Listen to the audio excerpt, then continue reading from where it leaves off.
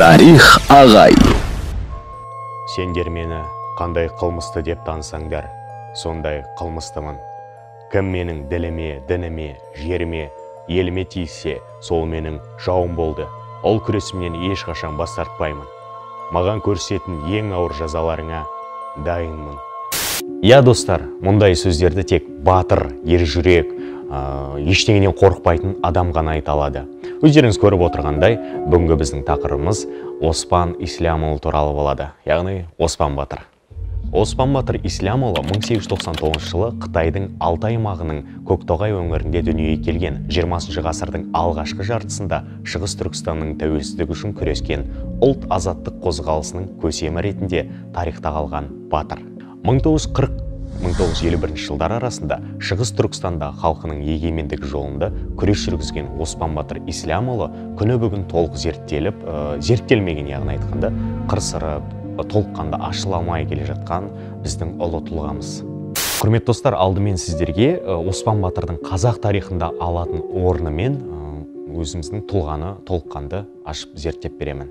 Ендеше оның күресімен қазақ тарихында алар орны туралы әңгімелеп береміз. Жалпы түсінікті болу үшін алдымен ә, резонансты оқиғалардың оқиғаларды қайтадан ә, қайдан шыққанын баяндайтын боламын. Совет үкіметі өз қажеттілігі үшін 1944 жылы әлихан төренің басшылығында шығыс түркістан шын мәнісінде ол мемлекет дәрежесіндегі республика деңгейіндегі үлкен үкімет болып құрылған. Оспан батыр 1945 жылы қыркүйекте осы үкіметтің құрамында алтай аймағының губернаторы қазіргіше айтқанда әкімі болып тағайындалады. Совет үкіметі алғашқыда оспан батырдың оспан батырды қолдағанымен шығыс түркістан деген атаудан қорқып шығыс түркістан мемлекетінің атын кейін үш аймақ деп үш аймақ үкіметі деп өзгертті. Осы кезде оспан батыр совет үкіметінің бірдеңені бүлдіргісі келетінін сезе бастап ә, қарсы шыға бастайды. Бірақ совет үкіметінің қытайда өз адамдары болды. Олар ахметжан қасыми мен және дәлелхан сүгірбаев. Дәлелхан есінде болса. Дәлелхан сүгірбаев кім деген сұраққа жауап 1941-1943 жылдары Алматы қаласында арнайы саяси тәжірибеден өткен Советтік империяның тәрбиесінен тікелей қабылдаған Дәлелхан Сүгірбаев 1943 жылы өр Алтайда төңкеріс бастап жатқан Оспан Батырдың қолына барып қосылады. Осылай сол кездегі әкімнің сеніміне кіріп, оны ішінен зерттей бастайды. 1946-1948 жылдары оспан батыр мен дәлелхан сүгірбаев бірнеше рет соғысады. Кейде оспан батыр оспан батырдың қолы жеңсе кейде дәлелханның әскері жеңеді.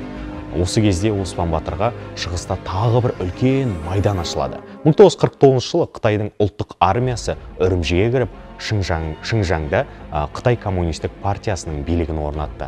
Оспан батыр енді жаңа үкіметпен қарсы соғысуға мәжбүр болады. Ал дәлелхан сүгірбаев шығыс түркістан республикасының басқа бірнеше басшысымен бірге 1949 жылы тамыздың 27-сінде ұшақ апатынан көз жұмады. Оспан батыр 1950 жылы өз жұртын ганьсу аймағындағы қанамбал тауына көшіріп сол жақтағы қыстап сол жақта қыстап шығады.